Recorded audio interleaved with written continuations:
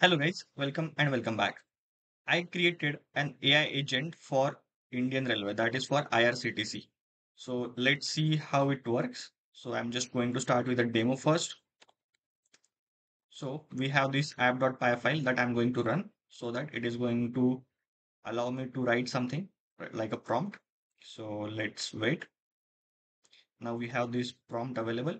What I'm going to do is just select a train and ask it what is the status of this train. What is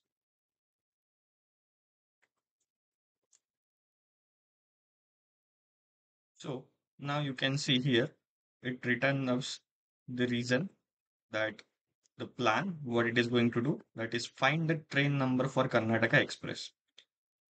What all these things are what all these things it is doing i'll explain you in a bit but for now let's just consider this thing that the karnataka express is currently in bangalore junction. How it understand or how it knows that? So basically you can see current junction this is not karnataka express. So for karnataka express we have to find the train number.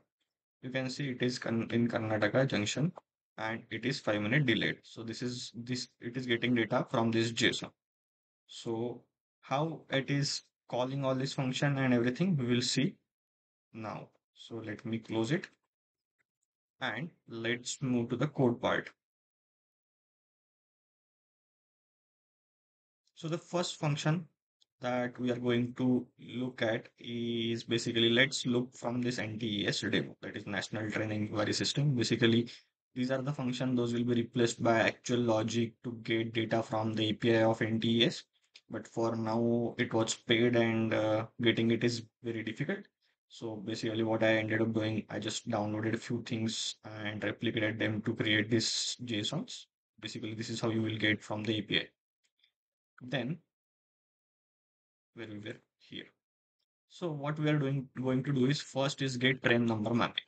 So what train number mapping is to get the train number from train name. Why we need that because even their API needs train number to get train running status. So that's why we are going to first get train number from train name if someone is writing name instead of number. So first get that. If not, it can directly call it. So we will see that also in the demo.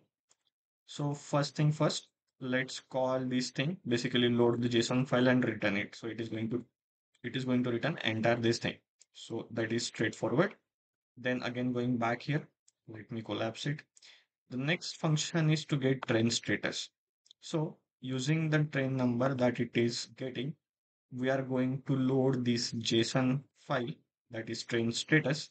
Here you will see that we have train number one, then train number two, that is train number this, train number this one, that is what is where it is current station and so on.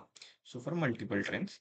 So getting data for the single train, we have added this filter and we are just returning the train. Like if the number matches with the number that we are getting, we're going to return it.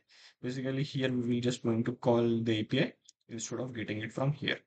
So these two function primarily we are looking. I was also working on PNR number, but again, I couldn't get the API. So I decided not to go here. We are just going to see this thing. Okay. Now we have imported all these functions here let me go to the model also. So basically this is entire code that is copied from ChatGPT. Nothing fancy. So here you can see this is where I'm putting my API key and then we are creating the model and calling it basically getting the content. So model we are going to pass the prompt whatever the message we are sending we are pa passing it here and one more important thing that is we are using ChatGPT 4 model. Then let's move to the main part where everything is getting orchestrated. So again, we have imported this model. We have imported these methods or functions that we are going to need for ChatGPT to call them. And this is basically JSON. So I'm calling it as a primer function or a primer framework because just to make it more easy it is not something that I invented. I just copied many things from many things, many places. For example, the documentation, how people are implementing, and came up with something that should be simple to understand and people are writing very big system prompts that is taking more tokens and so on. So this is going to cost us more than what we have here. So whatever we, the number of characters or number of tokens we have, if those are short, then it should be fine and it should be cheap for us. So we are just telling the chat GPT function. Okay. So let's start with the system prompt. We are just telling chat GPT that these are the steps that you have to use to handle user request. So the steps are first is wait for user input. That is our prompt input. Then what needs to be done? Let's plan it. Then invoke the function. Basically take an action or invoke the function. Wait for the result or monitor the result that this function is giving it. Explain the output and recover error if something goes wrong. So we will see this as well. Then the function that we created, I just added them here. Like this is the function, it gives this. This is the function that gives PNR number. This is our status. This is the this is the function that gives train name. So basically, I just created this one first, and I was thinking, let's let's not tell ChatGPT an example of that function and let them use it so that to prove that this is not something this is that this is just doing whatever we have here and it also knows when to call something else when needed. So that's that's why I wanted to add this thing. So here I just gave it an example like get train running status for this train. So it is straightforward. You can see here we don't have the name. We are just straightforwardly telling it that you need to get function. You need to get this status for this train. You have to call the function for this number and return that, okay, this train is delayed at this place by 10 minutes and so on. That is how we have explained ChatGPT. So again, this is something, this is not, I have explained it here, but it knows how to handle it. Then we created a message telling that system that this is the system prompt. So basically what this is, this is something that we are telling it that this is the system role that is using this as a prompt. This is system prompt. Then we have also added tools. Basically, we are telling this is not for ChatGPT. It is we, this is for Python because we have to call this function on the basis of what ChatGPT tells us. So I believe this till this part it is straightforward. Then here a bit complicated part you will see. So this is straightforward again till this part that okay we are just getting the prompt. And then we are appending that prompt into our message. Here we have the system prompt. Now we are appending another thing another another object into this array. So the array is the object is role user. So basically end user is telling what the content is. This is the input that is we are dumping. So the message is going to get appended here now we are going to call ChatGPT with this entire message that includes system prompt as well as the user prompt. Once we do that, we are going to get the result and we're again going to insert the result to this assistant so that it knows like what is the context and something like that. So basically, if it asks, I couldn't find the train number, can you repeat or can you try one more time? And we just are entering the train number. It should understand if it is a train number or if it is train, if it is PNR number, something like that. That's why. So just keeping the history and making it like context aware. Then we are going to load the JSON into the result. Basically, what this next step is out of these many steps, what are the steps that we have to perform? According to that, we have to take our action also. So if the state is explain output, we are just going to print it. We don't care about anything. It is final output and it has to explain it. So that's what we are doing. And we're ended up ending up this loop. Basically, which loop? The result one. If the step is invoke action.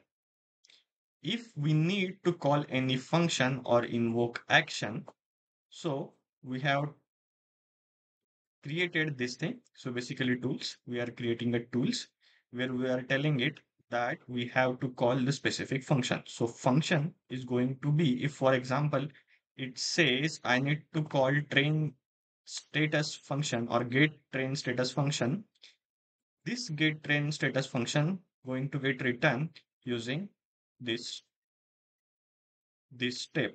So inside tool, basically the step type is invoke function.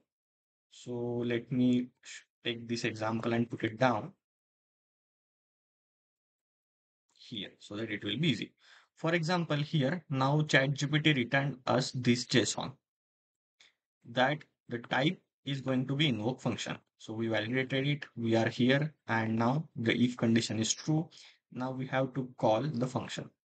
So to get the function name, what we are going to do is step dot function. So step dot function is going to return us get train status. Now to call the function, we need to have actual function, not the string. This is the string function. And here we have actual function. So if you click on it, it will go to this, not the string. So now this function is getting assigned to fn. And then using this fn, we are calling the function using the input. So input is this.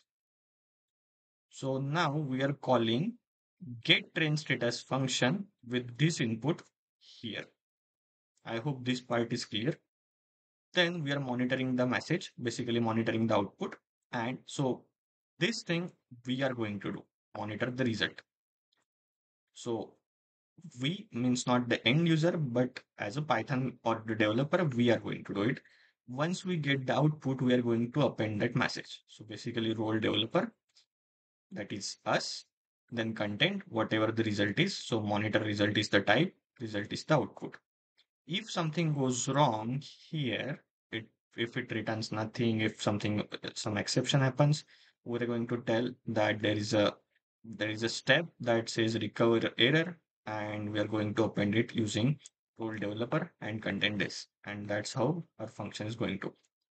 Now it is going to run in loop forever like while true till we get an plain output. So this thing is going to get called last because if we see here so first thing is going to be prompt input prompt input. So getting input from result then plan the action whatever we need to do. If we need to call something uh, or if we need to call some other function recursively something like that then take action monitor result. So this is something that developer is going to do or the code is going to do.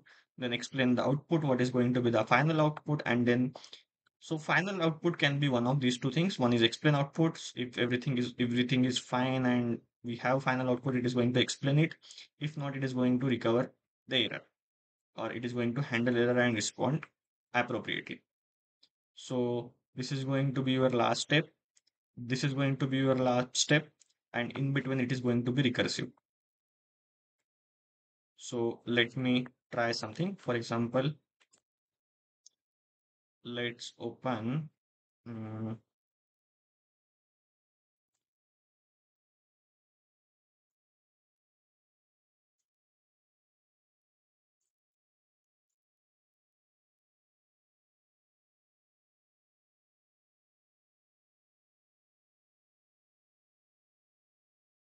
So get train running status for Purushottam Express. Now it got the number. It is calling it and it is saying that Purushottam Express is currently scheduled to arrive at Delhi, New Delhi with 10 minutes delay. So it knows how to get the train number. For example, if I say for a train number, this.